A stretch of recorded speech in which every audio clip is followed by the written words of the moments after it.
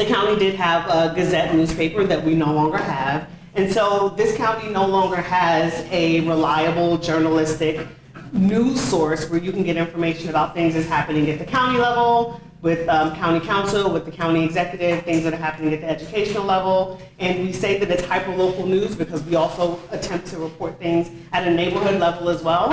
Um, and because we live in DC, which can, I'm sorry, we live in Maryland and we're in Montgomery County, sometimes it can feel like we're in the shadow of DC. So on DC broadcast news, they might be discussing um, DC Council, federal, but not really discussing Montgomery County. So we really have that space where we can share Montgomery County news. And that's one of the things that we do. We also, uh, we have two cable channels, channels 19 and 21. And the content that we create and the content that we help nonprofits or individuals create, we share on our cable channels, but that content does not belong to us if you create it. So if you create something with MCM, you are actually the executive producer. We don't own it and we don't want to control it. We just want to share it so we can have local content on our channels. Um, we have modern multimedia production equipment and um, fully staffed professional production team one of which happens to be in the room, um, because we like to get out into the community and show other folks important things that's happening. So this is a really exciting day, not just for Montgomery College, but for the community to see that this is something that the college is doing. So we attempt to go out into the community and share important things that's happening. Um, another important arm of our organization is our community engagement, with, which is what the area that Danielle manages. So underserved publics, yeah? So for the people who don't have a voice and the people who can't go to ABC or CBS to get their story told, we are there to help them tell that story. We are here to amplify, amplify community voices. I have a sticker on my computer to remind me every single day that that's my job, to amplify community voices. We have targeted citizen engagement. We work with youth. We work with seniors. We work with everyone in between. Anyone who wants to learn how to do media and how to create content, yes? We have community engagement. So we have roundtables where we bring the community in and ask them questions. We have what was our creative circle? This is our director of development over here, so I'm looking at her to keep me honest here. We've had creative circles where we've asked creators to come in and just talk to us about their needs. And that is really the concentration for me moving forward this year is trying to figure out what's the best way that we can support our community I have an idea of what I think they should learn. I have an idea of the kind of content that they should be creating, but I'm not creating it for myself anymore, thank goodness. I'm not creating it for myself anymore. So we want to hear from these underrepresented, underrepresented communities on how they can best tell their stories. For instance, I spoke to a couple of people who are in the outskirts of Montgomery County and they don't feel like anyone's covering them. They don't feel like their needs are met. They have completely different needs. Hi! They have completely different needs from Rockville or Bethesda, and they need their stories told as well, right? So that's what we're here for. So that's my engagement portion of it. I enjoyed that the most. I'm hoping that we can also talk about some of your underserved communities and how we can service them in MCM. Even though MCM is one organization and we have one mission, we have several audiences and we have several ways that we communicate with them. And so we have to be strategic about how to connect to each and every one of those audiences. For example, our viewers. So we have two cable channels and we still actually have people that watch TV. Um, those folks tend to be older.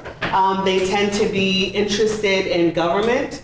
Um, they tend to be seniors. They're very involved in community. They want to know things that's happening locally. We also have um, clients and our clients are people that we serve with our um, business services. So we create content for them and we can help them you know, promote their business and create um, videos and products for them, and um, county residents. So county residents are interested in learning about news, so we connect to them really via our website um, and our newsletter, and they're interested in getting information that way, as well as through our YouTube channel, because it's something that they can access whenever they have free time. But the point is, it's really important for you to know and understand who your audience is, what their space is and how they're receiving media, how they're receiving information. Because if you're creating a newsletter, right, and you want that information to go to teenagers, it's not likely that they're going to read it and open it and consume it, right? But maybe someone like me,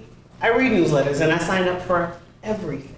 I sign up for everything and I fill out every single survey that people send me, right? So that's, but I can't have that expectation of someone who is um, a teenager or someone who's in middle school. because how we're going to teach middle school students is very different than how we're going to teach seniors or how we're going to teach young adults, particularly those who have never touched media before or who think they're very proficient, but we want to get the build up their skills. We also have content creators. So we teach them how to do all this stuff, and then we need them to make content. We need them to make content for our YouTube channels. We need them to make content for our two channels that are on the air. So it's not just about we're going to teach you this and we're going to shove you out the door. We're going to teach you this, and then we hope that you're going to build content for us that we can share with communities to again amplify community voices. I keep going back to that because that's my north star. And then we talk about hobbyists and techies. So I have a passion for AR, VR, and AI. It's my boogie, it's my thing, I love it. So the people who are also in that space are uh, people who we're going to be able to tap into. They teach us, we teach them, and then we take it out to the community and we teach the community how to do it. Other hobbyists are photographers. We want photographers to come and talk to us. There's an AI component of photography that's flipping photography on its head. We can't ignore that. So we have hobbyists who are going to help lead the way for us and create space so that we can teach other people about what's happening. Other hobbyists are videographers.